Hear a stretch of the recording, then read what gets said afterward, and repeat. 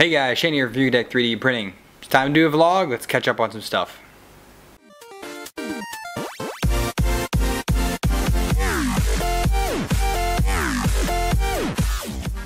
Hey guys, welcome back. So, it's that time again. We got some stuff in the mail. First off, it's the loot crate came in. So, we got sporting my new shirt. Uh, it's kind of Walking Dead type nightmare, I think is the theme or villain or something like that. But hey, this is pretty cool. I like it. Got something else in the mail. This is Royal Mail. This is from obviously somewhere in the UK. And it did come with a little note. I ordered this quite a while ago. And I knew it would take a while to get here because it's coming from the UK. So I dropped it. So right here on the top, it's from F3D. How to make things better. Apologies for the delayed delivery. So apparently they must have had some kind of issue and they weren't able to ship it out right away. So I've got me some Printbite. This is a 300 by 300 sheet of Printbite. So a lot of guys are talking about this. I think Joe Mike Tarula, maybe, he talks about Printbite and how nice it is. So I figured, you know what, I have several other printing services here that I, I want to compare eventually. I'm just printing on each of them to try and learn how, how they are, how they behave that was probably really annoying to listen to. Um, but here's the print bite. Pretty cool. Little all kind of graphed out. It does have a sticky back, so this is going to go on one of the 12 by 12 mirror tiles that I bought for the FT5. And I bought those mirror tiles again, especially for putting all of these different surfaces on because the mirror and a time lapse doesn't work out so well. I did do a picture, I'm sure you saw in one of my last videos, and that was of the Playhouse connector that I made. I was printing on the mirror tile to kind of test it out, but you can see it's really not very good for camera. So this print bite is going to be pretty sweet, very super smooth feeling, but it's supposed to be fantastic to print with. And, and I can't wait to try it out. Uh, here they give you all kinds of information about it and what it can do, so we'll try that out. So it was just Halloween. Printed a bunch of stuff. Sadly, I don't have much of it left, or any of it left really. So I printed out probably about 40 of the little uh, pumpkins, little pumpkins, and I'll put a link up here for that so you guys can go check it out. I'll put a link down in the description as well. It was a great fun print. There's nine different pumpkins in the set and they all have crazy faces. So out of the so of little ones I printed about 40. I also printed two great big ones and my daughter helped me out with those so I'm trying to get her into 3D printing and we used the Cube 3 3D printer and she helped me model, uh, you know, import it in and we expanded it to 400% which filled up the build plate on the Cube 3 and they came out great. I put two of them and I stacked them together. We had a little pumpkin competition at work and everybody got a kick out of it and they all yelled at me because I tried to bribe them with the little pumpkins. But it was good fun and uh, I enjoyed printing those but those actually are with the event coordinators right now so I don't have access to them but next week I should have them. I'll show those off and I'm going to do a little, uh, did a time lapse of the print so I tried it out on the Cube 3. It doesn't really work out too terribly well because of the, the light that's on it. I might have to, right now it's, it's down here as you can see under my desk. I would probably have to bring that up on the desk and use external lighting, you know, just my room lighting, and then do the time lapse from there and see how it would go. But because it's enclosed, it's just weird to try and film it. But the lights were on, so we'll do, I'm probably just do just a time lapse of that, but I want to have it back so I can film a little more for the video and not just have a time lapse. Kind of want to talk about it and show it off, whatnot. But the same maker, I hit him up probably about two or three weeks ago, and I said, "Hey man, your little pumpkins are fantastic. Can you do a skull in the same, you know, manner that you did the pumpkins?" And he said, "You know what? Sure." And he did. So I printed out a big one. This is his skulls, and this is just the uh, normal printable one, um, I just scaled it up to, believe this one is 500% because 600% would have been too long. And I actually wanted this one for Halloween for my, we did trunk or treating at work, and I wanted it for my car, but it didn't finish in time. So sadly, I couldn't enjoy it this year, but I will definitely enjoy it next year. You can see how big it is compared to my head, you know, 500%. It's pretty big. So this is printed on my FT5 and it prints just like this and no support needed whatsoever.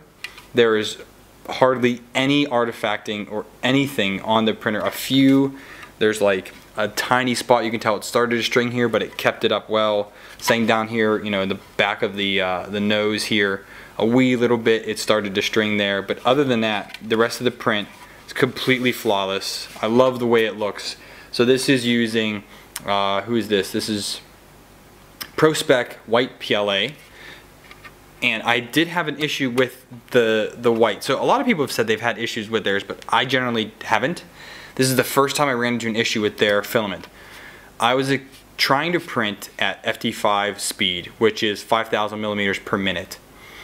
That ended up being a little bit too fast because I could not melt the filament fast enough to extrude it out. And I usually print PLA at about 205 degrees centigrade.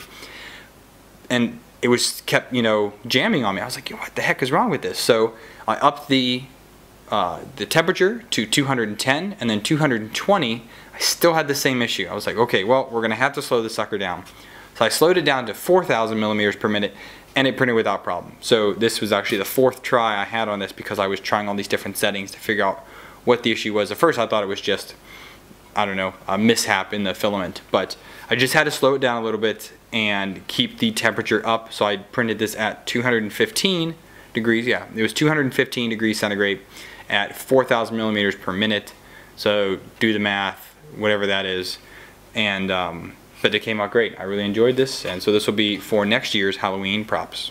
All right, so let's move on. So a video I put out uh, was the part one of the build of the Triangle Labs D-Force Mini. So you see it's not behind me here. Ran into some issues there. So I believe the board is bad. I was able to get the X axis moving using Marlin. So I dished up my own version of Marlin, and I was able to finally get the X drive working. Then I went back to Rep Repier, Repetier, or whatever you want to call it, and changed a couple things in there, got the X to move. Could not get the Y or Z motors to move at all. So I took the X motor, put it on the other axes, and it would home. So, and I put the other motors, I'm sorry, I put the other motors on the X axis and they all could home. So the that connector on the board was everything was going correctly. None of the other accesses were working. I also got the extruder to work, so that worked. So two things worked on that, but nothing else would. So I was like, okay, I tried a couple other things, talked to a bunch of people on Facebook. No one could figure it out. So, you know, I was like, hit them up, say, hey, you know what, guys, I think this is a bad board. They need to send me another one. So they said they would. It's going to be two or three weeks before I get it. So we have now shelved the D-Force Mini. Part two of the build is coming out soon. I'm working on editing it now. That should be out in probably a week or so. And so that'll be a supplement until I get the rest of the parts in and we can work on that again. So that one's gonna be shelved for now. Another issue I had is that you'll notice that there's about a minute of the video that doesn't have any audio. And I was a little upset with that, but it so be it. I had already moved way past it by the time I noticed. And it is what it is. So this is my Rode mic and this hooks on here. It has its own stabilizers. Um, so once you turn this on, on the back, that LED should be green. It's red because the battery's low now. This uses a 9 volt battery, which is horrible, especially trying to get them here. I mean, 9 volts, no one uses 9 volts except in uh, the smoke detectors. That's about it. And the carbon monoxide detector. Detector. There we go. So on my, I have my tablet down here, I can see the, as I talk, the little graph goes up and down. I guess I didn't notice because I don't really look at that when I'm doing the video. I'm looking here at the camera with you guys. I didn't notice that that wasn't moving, so I missed out that part. So I apologize for that. I'm to try and make sure I pay a little more attention to the battery life on this. It generally is pretty good, but every now and then it cuts out and I don't notice it until it's too late. So, but I don't use this all very often. I use this with the build simply because I can't have the condenser mic right here as I'm trying to do things. It's just in the way. So, but uh, this kind of just gives you a little look on what I do also. So these are just some of my wife's hair ties that I put in here and this is for if I ever use the, uh, the Zoom H1, I'll put that in here and uh, it just acts as a kind of a filter between the microphone and the and the camera. It gives a little bit better audio, but I haven't been using it lately. I need to experiment a little more with that. So for what was going on, that's pretty much it. Uh, I'm to be recording here uh, today and tomorrow. I'm to be working on the, I have the Form Futura HD glass filament I have to do. I have the maker box here. Everything's printed out. I just have to do the final recording for that. So I'm going to work on that and then I'm going to move on to some more filaments to test out. I'm going to be doing some more big prints on the FT5. I mean, the, the skull here was my latest big print, and uh, I wanted to do this a lot bigger, but again, I also didn't have the filament because the white spool was not brand new. And if I really, really, you know, magnify this, blow the sucker up, it's like 250 meters are needed. So I didn't have, I know I didn't have enough on there and I didn't want to pull another Millennium Falcon fail and have that, you know, blow up in my face. So I'm going to, once I get some more white filament here in the future, if someone sends me some, hint hint, or if I decide to pick some more up, I'll do, you know, much, much bigger prints with this. But I have the Squirtle coming up I want to do here in the next few weeks, and a few other things I want to retry the Millennium Falcon, to be honest. Uh, I want a big, complete Millennium Falcon, and we're going to get there pretty soon, I hope that's really it here guys. Uh, I really hope you guys enjoy these, these segments. I, I, do set aside you know this is I mean it's Tuesday night now. By the time I get this out it's gonna be Wednesday. And I, I really I set aside time every week to ensure that I do this as a weekly thing. I hope you guys enjoy it. Uh, if you do please let me know. If you don't let me know as well. I mean if you really don't care about what things I get in from companies or the stuff I buy myself which is most of the stuff uh, or what is going on you know behind the scenes or what I have working on you know, let me know. I would really appreciate hearing from you down in the comments. And yeah, so I, I, think these are fun and I wish other YouTubers would do this more often. I know Joel does them every now and then, uh, but I, I, feeling from him, I mean, he, the guy is just so smart and he's so in tune with the 3D printing community. To hear from him more would be great. So you know maybe we'll just challenge it. You know Joel, if you ever watch this, if you even watch my channel, which you probably don't, uh, I'd like to see more vlogs from you. It would be, I would greatly benefit from them. I know Angus does them pretty much weekly. I think every Sunday he does them. And I would love to see it from you. Um, being as a data 3 as well, um, I, I, understand how hard it is to do these kind of things and we both do this at night. But uh, I would love to hear some more from you. So if you're watching this, I challenge you. Let's talk about one more thing here, guys, and this is a huge thing. 300 subscribers. Actually, I'm like 306 or something like that now. I think it's, it's gone even more. I'm getting like five subscribers a day almost. It's fantastic. I'm getting like two to 300 views per day. We're now over 12,000 views of my videos, which is mind-blowing. I've taken enough from you guys. It's time for me to give back to you. So I have here a roll of PETG Plus from Filabot. Sticker here as well. This is a 750 gram roll of their clear PETG Plus. I'm giving this away. So thank you guys for everyone who's watching, you know, for those of you on Patreon, I appreciate it. You know, just everything you guys do, the comments, it really keeps me engaged. I'm happy that you guys are engaging with my content as well. So I'm going to start a Gleam competition. I've never used Gleam before, so please bear with me on this. I'm going to set up the Gleam competition right now, so by the time that this video pops out, the Gleam should be live. Should be, I hope it is. And it's going to run for seven days. So you have to subscribe to my channel. You can like my, like my Facebook page. And you have to watch a video too if you want to get some bonus entries. But you have to be a subscriber in order to, to be eligible for this competition. I will ship this anywhere in the United States. I'm sorry to you guys overseas. I just don't have the ability to ship overseas from here.